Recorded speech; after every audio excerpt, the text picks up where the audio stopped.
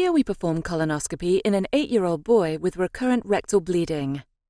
Right here, 4 centimeters above the anal verge, we see this pedunculated bright red polyp.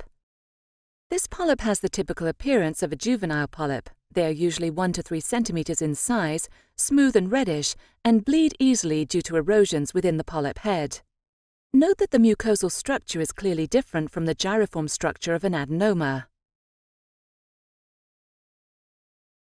Virtual chromoendoscopy with FICE enhances visualization of the mucosal blood vessels within the polyp head.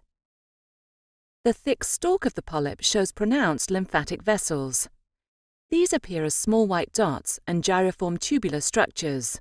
This phenomenon is probably caused by the chronic traction that is exerted by the heavy polyp head. In a next step, the polyp is lifted by submucosal injection of diluted epinephrine.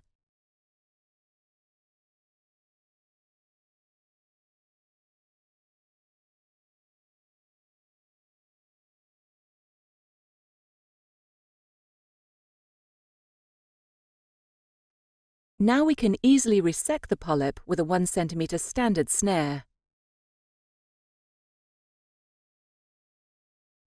To minimize thermal damage to the bowel wall, make sure that the polyp is slightly lifted into the lumen during resection.